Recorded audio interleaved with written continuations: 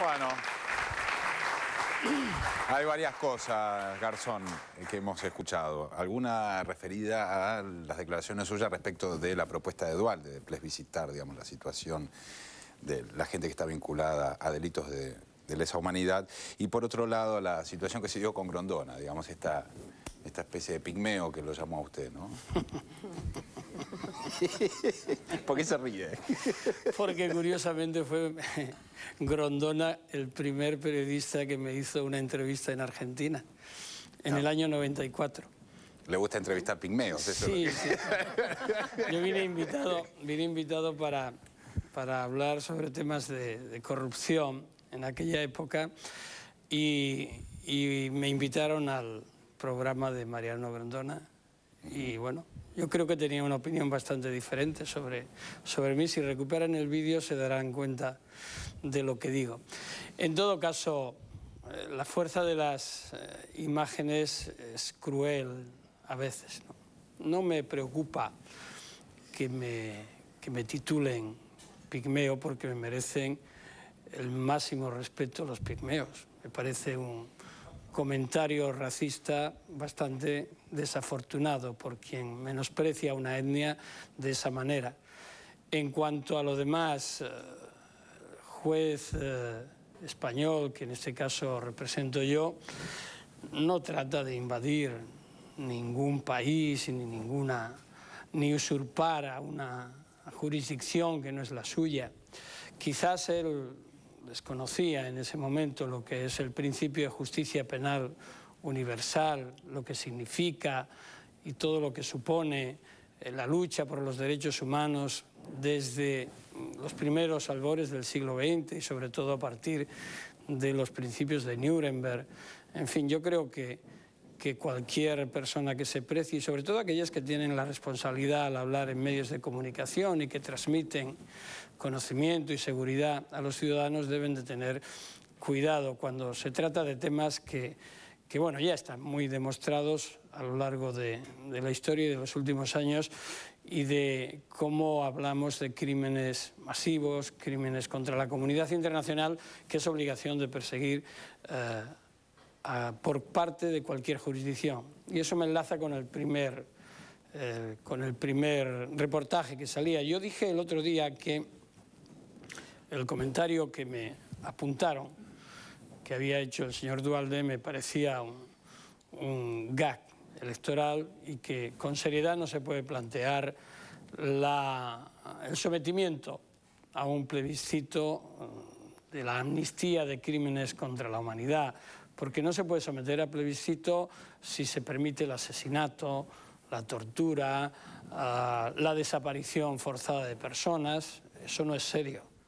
Y hoy día, si se dice que se somete a consideración pública una amnistía para perdonar esos delitos, pues yo tengo que decir que además de no ser acorde con ninguno de los principios que hoy día rigen el Estado de Derecho moderno, pues no es serio. Y si no, nos tendríamos que remitir sencillamente al día de hoy, eh, fecha en la que el presidente de la Corte Suprema en la presentación del informe sobre crímenes de lesa humanidad y su investigación en Argentina ha sido claro, contundente, diáfano y sin dejar lugar a dudas de cuál es el camino que se debe seguir en Argentina y en cualquier parte del mundo frente a estos crímenes. claro.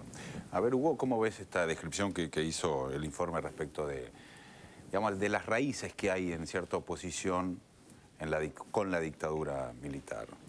Yo creo que es interesantísimo eh, cómo se plantean las cosas en la actualidad porque está surgiendo y poniéndose arriba de la mesa quién es quién, qué rol juega cada uno. Y Mariano Grondona, además de ser abogado, eh, fue el que elaboró el comunicado 150 cuando estaba con los dictadores de la época de Onganía. Eh, es alguien que llevó a Macera a, humillar a un Alfredo Bravo, que fue víctima de las torturas de Checolás en la provincia de Buenos Aires. No tiene autoridad moral, pero creo que todos ellos, tanto él como Dualdi, como toda la gente que aparecía cerca de Mañeto, están eh, correspondidos entre sí de un sector que ha manejado históricamente a la Argentina y que hoy día se ve una alternativa diferente y entonces hay eh, una preocupación por eh, arreglar desde ese sector de poder lo que antes se hacía entre gallos y medias noches y como algo ya establecido, consolidado y aceptado. El otro día cuando fue el tema de la sociedad rural, por ejemplo, y, no fueron los granaderos a, a engalanar esa fiesta patriótica, entre comillas, parecía un hecho eh, irrespetuoso hacia la sociedad rural que se creen los dueños del manejo de la Argentina. Y recién ahí muchos argentinos nos pusimos a pensar o se pusieron a pensar que no son los dueños y que no tiene por qué el Estado mandar a los granaderos a un homenaje particular, privado de un sector que se unificó en ese escenario para mandar un discurso muy, muy claro y muy concreto. Dolores, ¿ve, esta lectura que hace Cañón respecto a lo que pasa en Argentina, de que efectivamente hay un grupo que se ha vuelto más visible también? Pues no, mm, eh, no lo sé. Mm, eh, yo lo que me gustaría eh, comentar algo de las imágenes que hemos visto en relación a, la investigación por el juez Garzón de los crímenes del franquismo. Una de las, em, de las afirmaciones que se hacían cuando en España se empezó a investigar los crímenes de la dictadura argentina fue precisamente que nosotros no revisábamos nuestra historia, que teníamos una deuda pendiente con nuestra historia. Durante la dictadura franquista se cometieron eh, crímenes, eh, existieron desaparecidos, existieron también mm, desaparición de niños y bueno, eh, fusilamientos.